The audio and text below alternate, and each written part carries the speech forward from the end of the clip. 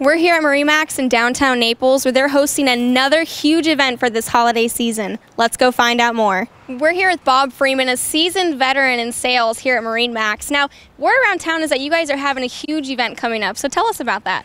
Uh, we are, for the uh, second year in a row, we are going with the Salvation Army and we're going to do the Toys for Tots. And our plan is to fill this 35 foot Boston Whaler with as many toys as we can. Also, we're going to, uh, on December 10th, we're going to be having uh, the Salvation Army along with all the uh, manufacturers reps from Boston Whaler down here. And we're going to have a great, great time here. Also, we're going to be, that is the day that we're going to be filling the boat up. But if you cannot be here on December 10th, don't don't be shy. Come on down. We'll take the presents all the way up till December 12th, and we'd love to see you here.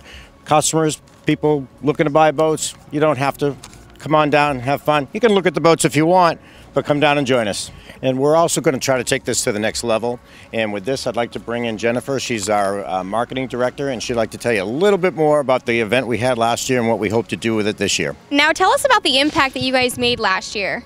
Last year was our first year partnering with the Salvation Army. We filled a 13 foot Super Sport Boston Whaler. This year we have a 15 foot uh, Super Sport Boston Whaler inside of our showroom. And like Bob said, we're going to try to upgrade that and fill a 35 foot outrage. Here at Marine Max, even though we sell boats from 13 feet up to 100 feet, we like to give back to the less fortunate in our community. Um, if you're willing or if you're wanting to buy a boat, or if you just want to donate toys, stop by. You can visit our website at www.marinemax.com forward slash Naples or give us a call at 239 262 1000.